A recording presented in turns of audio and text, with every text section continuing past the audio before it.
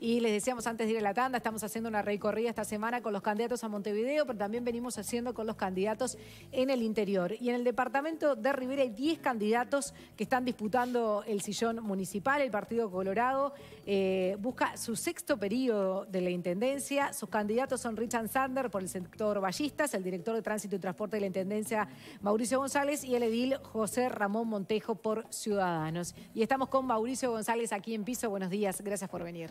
Buenos días eh, a ti, buenos días a la mesa, muy buenos días al programa. Es un gusto estar con ustedes. Bienvenido. Bueno, 10 candidatos. 10 candidatos. ¿Cómo está esa campaña? Bien, una, una atípica la, elección, porque no es normal toda la situación que tenemos. En Rivera es una elección donde votan aproximadamente 90.000 personas. Eh, vienen brasileros a votar, o sea, riverenses que están en, en Santana do Libramento, de, Río Grande del Sur, o sea, se calcula casi 10.000 son los, que están. Y, de hecho, bueno, hay una movilidad importante donde las agrupaciones se dedican a, a ese día, este, es un día de fiesta, pero a cargar gente, llevar, a votar. Y con todo esto que estamos viviendo, la emergencia sanitaria y, los brotes que está teniendo Rivera, ¿cómo, ¿cómo piensan manejar esa situación? Y bueno, ahí es donde está un poquito la, la complicación. Nosotros firmamos un acuerdo entre los cuatro partidos, el Partido Nacional, el Partido Colorado, Cabildo Abierto, eh, Frente Amplio y la Unidad Popular, cinco, somos, somos cinco, cinco partidos, eh, de los cuales estamos de acuerdo en reducir la movilidad. Eh, de, esa, de los diez candidatos, firmamos nueve, hay uno que no firmó, y, pero nosotros estamos... ¿Cómo? El favorito no firmó. Richard El candidato oficial de la Intendencia. Sí. Este, fue el que nos firmó. Este, hay algunas idas y vueltas en ese sentido, pero más allá de eso, creo que lo que nosotros apuntamos es que está todo el sistema político, por decir, los partidos están representados, que eso es lo que nos importa, y que lo que nosotros queremos justamente es reducir la movilidad que existe hoy. Este, son 90.000 personas para votar. ¿Parte de esa movilidad es eh, la culpable este, de, estos brotes que están viviendo? Parte de la culpabilidad... Sí, puede ser. Es decir, hay mucho movimiento. ¿no? Eh, eh, a ver, ¿cómo se, para el coronavirus? Se lo para este, cortando la movilidad. Si existe movilidad y si no existen elementos de protección, el coronavirus va a avanzar. En Rivera lo que está sucediendo es eso. Bueno, se desobedeció lo que estaba pactado y empezaron los brotes. Por un lado se apunta a la movilidad de una caravana, por otro lado se apunta a los, a los brasileros que ingresan a, comprar a la ciudad, este, pero lo hecho es que bueno, el, problema ya está. Nosotros lo que estamos planteando es qué vamos a hacer a futuro. Este, estamos a cuatro días de la elección, nos preocupa a todos, hemos firmado un acuerdo entre todos los candidatos, levantando la bandera de Rivera y levantando la bandera del Uruguay. ¿Y por qué decimos esto? Porque con esta cantidad de personas que vienen de Río Grande del Sur, que está con la bandera roja, o sea, no hay un hilo epidemiológico en Brasil, el virus está descontrolado, eso es una realidad, es distinto a lo que pasa en Uruguay. A eso sumémosle que viene gente de Montevideo que van a ir a Rivera a votar, o sea, las dos puntas que están bastante complicadas. Allá va a haber una logística de carga de gente para llevar a votar. Se están preparando todos los tracímetros de Santana, todos los tracímetros de Rivera, todo lo que ocurre este, en las agrupaciones este, para, obviamente, eh, llevar las personas a votar.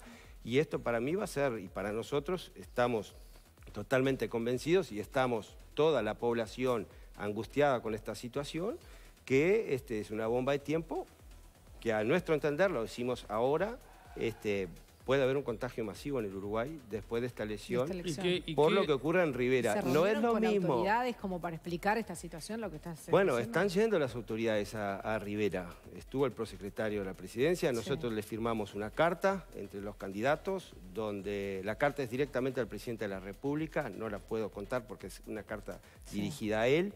Y, eh, primero hicimos una carta a la opinión pública, donde nosotros estamos de acuerdo en reducir la cantidad de delegados Ahí arranca uno de los temas. Son 252 circuitos, más de 100 listas. Más de 100 listas. 10 candidatos, pero más de 100 listas. O sea, si tú calculás que hay que poner un delegado circuital por cada circuito, de cuántas personas estamos hablando. En 10 candidatos son 2.500. Eh, en 100 listas, más de 20.000 personas. La estructura que va a estar armada eh, tratando de, de meter el voto. Y nosotros lo que estamos planteando es que una elección no vale la vida, es muy claro para nosotros. Entonces creo que la responsabilidad que debemos tener, y aparte uno de nosotros va a ser el intendente. Hoy la intendenta Alma Galup está trabajando mucho, eh, está, yo la veo complicada, este, la veo muy complicada porque tú necesitas fuerza, necesitas músculo, necesitas energía para poder avanzar y sostener y liderar lo que es hoy este, una pandemia que este, tiende a avanzar adentro de Uruguay post elección. Esto es una realidad. Entonces, uno de nosotros va a ser el que va a estar ahí, liderando como intendente departamental. Y ya con el problema en puerta para resolver. Nosotros ya tenemos que estar pensando en la solución. Es lo que, es lo que estoy pensando yo. Digo, bueno, si ya estamos en el problema, avancemos a, ayudar. ¿Cómo ayudamos nosotros? Bueno, nosotros que somos los que tenemos que poner toda la movilidad, porque somos nosotros que tenemos que poner, yo mismo, mi agrupación, tiene más de mil dirigentes. Este, tenía todo pronto, 252 eh, delegados circuitales, eh, tenía una movilidad de más de 600 autos. para llevar gente. ¿El acuerdo qué implica para bajar la movilidad? El acuerdo implica reducir los delegados, o sea, cada seis circuitos un delegado general que pueda, que la mesa le permita ingresar cada tanto para revisar que estén bien las listas.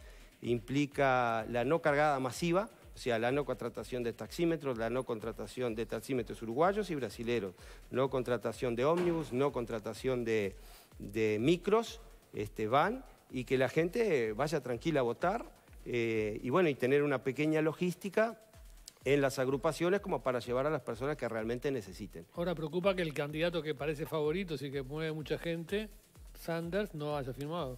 Bueno, esa es una pregunta que hay que, hacérselo. A nosotros nos preocupa también, nosotros hablamos, este, tenemos un grupo de WhatsApp de los 10 candidatos, ahí nos llegó la invitación, este, estuvimos ahí presentes y hablamos, yo puedo hablar por mi persona, por mi agrupación, no puedo hablar por otra agrupación. sí hablo por mi partido, Colorado, porque ah, eh, soy un referente del Partido Colorado por, las elecciones y estoy al frente de una agrupación y en mi responsabilidad con la población de Rivera no de una agrupación política, no de un partido, sino que Rivera, entiendo que nosotros tenemos que bajar la movilidad. Ahora, hablando de los brotes, veía recién este, un, documento de epidemiología de salud pública donde están concentrados los brotes en Rivera. Uno, el principal es la Intendencia, 30 de los 67 casos. El segundo, una iglesia que se llama Tabernáculo. Y el tercero, una confitería muy conocida del centro de, de Rivera en la avenida Sarandí. Es decir, ninguno aparece vinculado a los free shop. Es decir, eh, eh, ¿no está hablando de que hay problemas en la propia Ribera, no solo con los brasileños? Bueno, es lo que nosotros, a ver, lo que nosotros decimos. Este, yo ayer miraba eh, que se hablaba justamente que querían cerrar el comercio de Rivera y van a cortar por el, lugar más, más débil. No son los comerciantes los culpados de esto. Este, acá es, muy claro, el sistema político es el que tiene la culpa, porque el brote viene del sistema político. Y, obviamente me hago responsable de lo que digo y asumo también la responsabilidad en cuanto a lo que me toca a mí. Este, yo creo que nosotros para, para salir de esto, sistema político en Rivera, este, no puede estar por encima el sistema político de lo que es la salud de nuestra Ribera. Esto tiene que estar claro. Y si hubieron errores, y si se cometieron errores, hay que reconocer y arreglarlo. No se pueden cometer errores con más errores, porque poner la culpa a los comerciantes, como se está colocando la culpa a los comerciantes, este, cortar, cerrar los comercios, igual la movilidad va a existir, va a existir el contagio. Lo estamos diciendo antes de tiempo.